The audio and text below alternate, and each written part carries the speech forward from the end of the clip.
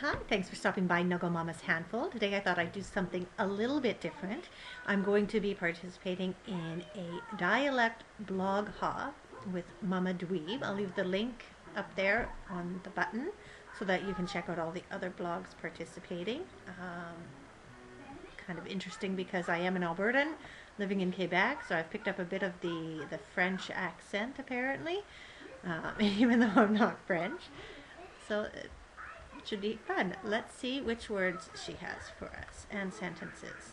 Okay, so the words are pillow, exhausted, governor, entrepreneurial, calm, Milwaukee, Wisconsin, bagel, ambulance, aqua, femoral, femoral, femoral, address, rural, and hypocrisy.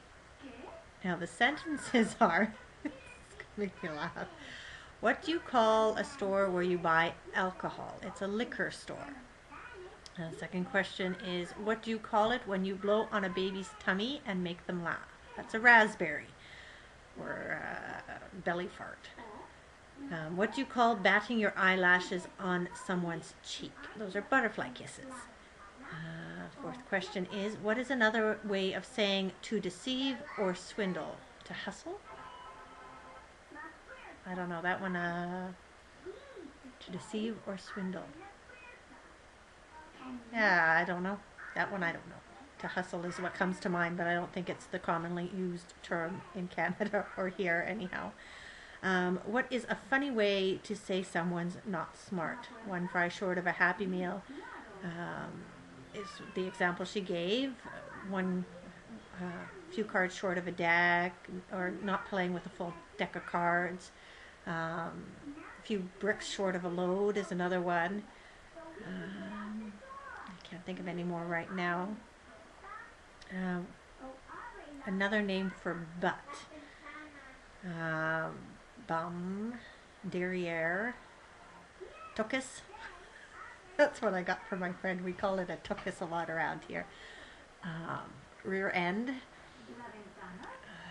badunk junk in the trunk. Um, although tuchus is probably the most commonly used one around our house. I'm gonna tap your tuchus and chase the kids around the house. Yeah, it's a fun game. Um, what do you call it when you drive through mud? Lots of it, often fast, and pray you don't get stuck. Well, that's mud bogging, isn't it? I've never partaken of mud bogging myself, but uh, I hear lots of the country folk like doing it, and some city folk too.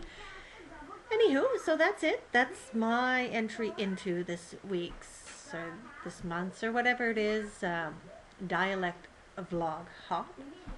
I hope you enjoyed it. I'd love to see the way you say certain things. Everybody says things so differently all around the world, so it's kind of fun. My husband was teasing me the other night because he said that I said nuclear the way that President Bush did. Which, if I think about it, I don't say it the way he said it. But when I'm not really thinking and I'm just speaking really fast, then I do tend to say nuclear, which is not the right way to say it.